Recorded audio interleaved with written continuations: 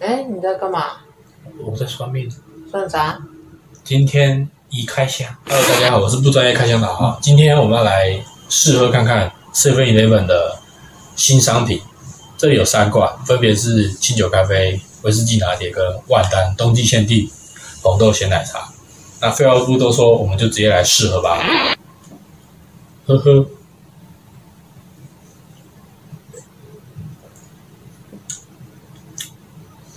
它的红豆味很浓诶，是哦，对，它奶茶没有没有那么的突兀，然后红豆味很浓。可惜就是说这里面喝不到红豆，这里面喝不到红豆，真的。但是红豆味真的确实很浓。再喝一口，摄影机小姐，你是不是很想喝看看？对，来给你喝。那如果一到十分，你会给他几分呢？这个饮料我给他八分，哦，蛮高的。我可以剩这两罐了。呃，摄影机小姐，这两罐你想要我喝哪一罐？嗯，不然先喝，嗯，威士忌拿铁。威士忌拿铁，你根本想要我醉吧？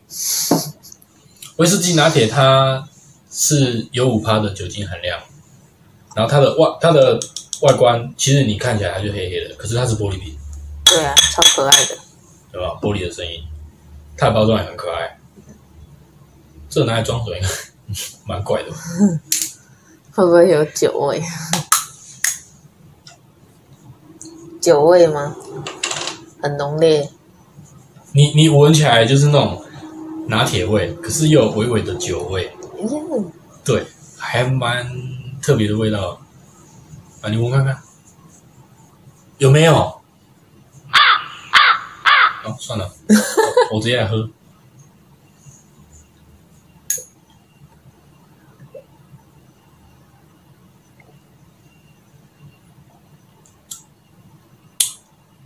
还蛮好喝的，它就是拿铁，可是它的酒精不高，你不会有那种很浓烈的酒味，就是。它里面的那种酒味可能只是提油味而已。嗯，如果说这个拿铁喝起来，它有九分是拿铁的话，它只有一分是酒。哦，对，真的还不错喝。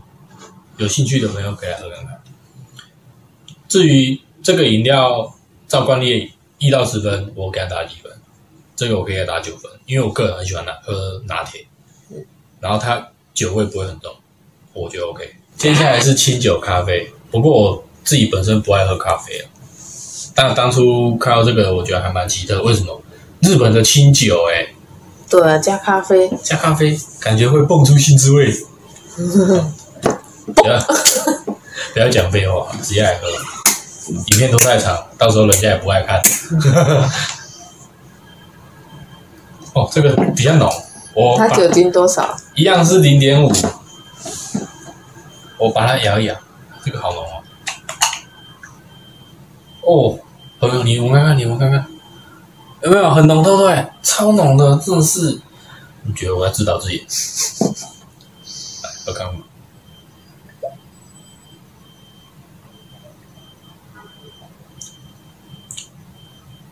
它是咖啡，然后。里面有那个日本清酒的那种感觉，清酒我那时候去日本的时候，我稍微喝过，我觉得还蛮奇特的味道了。清酒是喝起来是这样的，我不会讲那个感觉，你可能要自己去喝看看。然后跟刚刚的威士忌拿铁来比，我觉得这一瓶的酒味比刚刚还要浓。是啊，对比刚刚还要浓，它咖啡的味。